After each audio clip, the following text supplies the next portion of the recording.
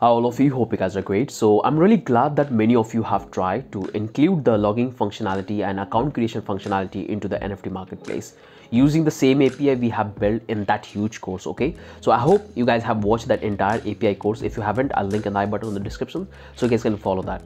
In this video we're going to use the same api to add the login functionality into our application okay? So i'm using the same api in one of my project okay so here you can see this is the application currently i'm working on and this is the account creation. So let's create the login. Then i will show you the background code okay? So let me provide the name. I'll say Daulat Hussain and i have to give my email id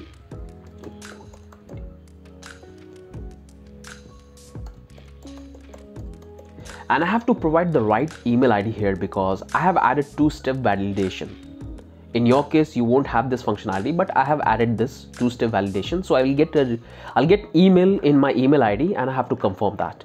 So this is the email i have provided. I have to give the password. So let's provide the confirm password.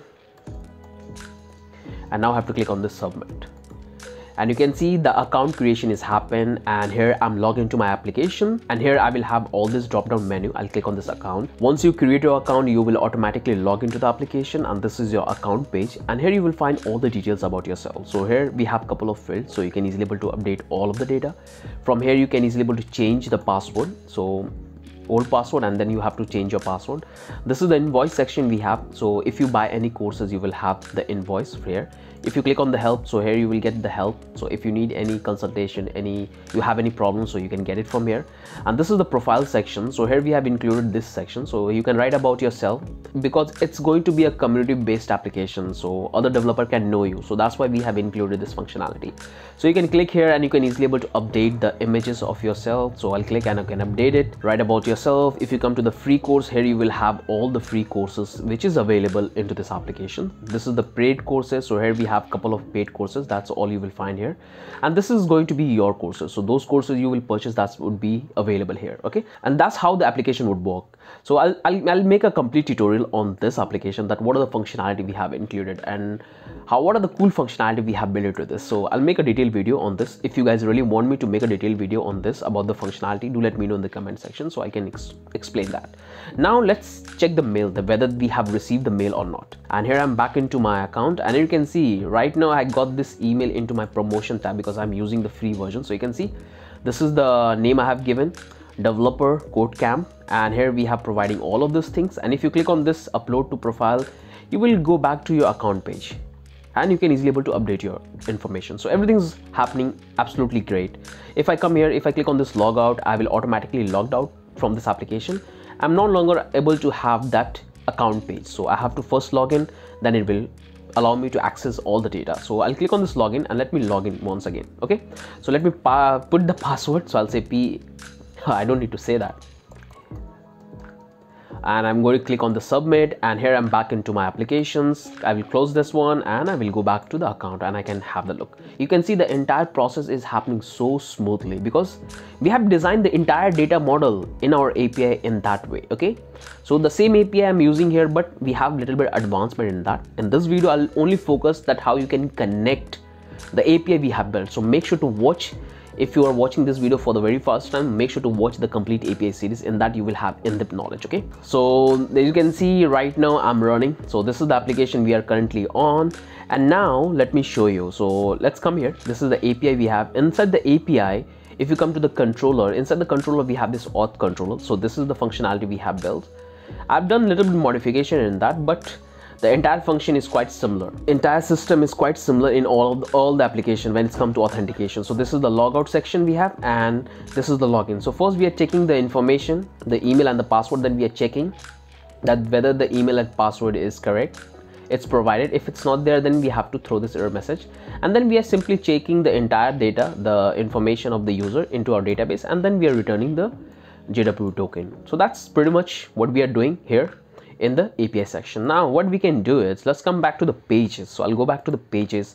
Inside the pages here we have the login. So I'll click on this login and here you can see this is what we have done here. Okay, so this is the function which is reliable for making the entire login system. So what I'm doing, I'm using this prevent default because I'm using form. So I want to just just stop this default behavior of the form so here i'm using Axios to make call to our api so we are using post method because we're going to post data email and the password. So method would be post. I see one of you have made this mistake. Instead of post you have, guys have written get that. And because of that you guys were getting an error. So this is the method we have to use. And this is the url we have to define.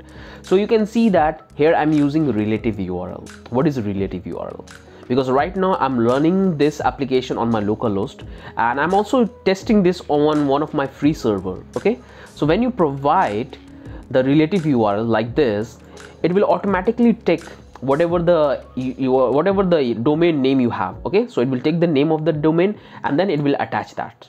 So this is called relative url okay? Hope this makes sense. So i was not able to set the token in the browser and that token is entirely responsible for checking whether the user is logged into the application or whether he done any kind of modification or try to hack it okay? So that token is very important which we are storing in the browser in form of cookie okay? So that's why we have used this. And many of you have not used this and because of this you guys were getting an error. So make sure you have to use this property called credential width and here you have to pass the data so our API can handle. And here I'm simply doing the same thing. I'm checking for success and I'm simply displaying all the data. So that's the only thing you have to do is because many of you have stuck at this portion. So make sure when you use Axios, you have to set this property called with credential. And if you use fetch it's called credential. Okay? So make sure to use that one. And that's it. That's it. That's the only thing you have to do. If i go back to the user sign up the same thing i'm doing there. Okay? The same old logic i'm following because that's the way to go. So here you can see i'm still making the relative url api call. It's a post method because we have to put the data and here i'm using this with credential because it will return the cookie. So i want to accept the cookie and i want to store into the browser of the user. So i can easily able to check whether the user is logged in or whether he exists into our database or not or when he changes password. So that's all the things we are doing based on the cookie.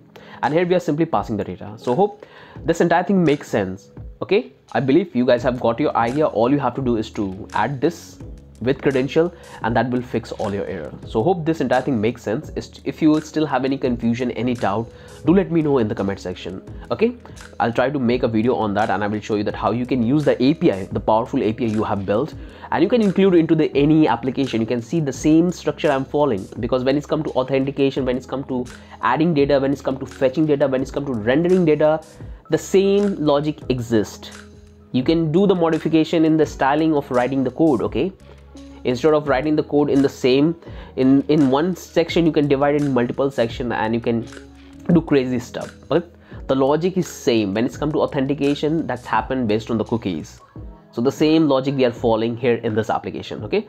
So make sure to include this and that will fix your issue and if you still have any confusion any doubt do let me know in the comment section. I'll try to help you in that. And with that i'm ending this. And if you haven't watched the nft marketplace project then make sure to watch that. And make sure to watch the nft marketplace api the api we have built which it's close to around 11 hours. So huge. If you build that you can become a master of backend developer. You can call yourself monk developer okay You can know how to work with a data model. You will know how to work Mongoose, Express, Node.js. We have talked a lot of things. Okay. With that, I'm ending. with that, I'm ending this video. Hope you guys have liked it. If you still have any confusion, and doubt, do let me know in the comment section.